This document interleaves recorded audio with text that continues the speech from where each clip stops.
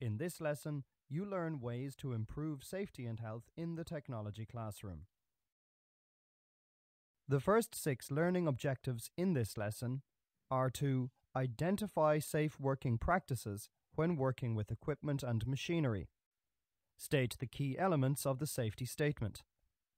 identify duties that may be required of a teacher of a technology subject with regard to the safety statement, state the key elements of a safety briefing, state the benefits of safety briefings and consultation, and demonstrate the capacity to conduct a safety and health audit of a workroom. The remaining learning objectives in this lesson are to outline fire safety procedures relating to the technology classroom, describe special emergency plans for the technology classroom, outline first aid requirements for technology teachers,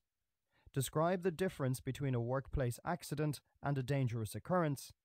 and finally, to describe the process of reporting an accident and why this is important.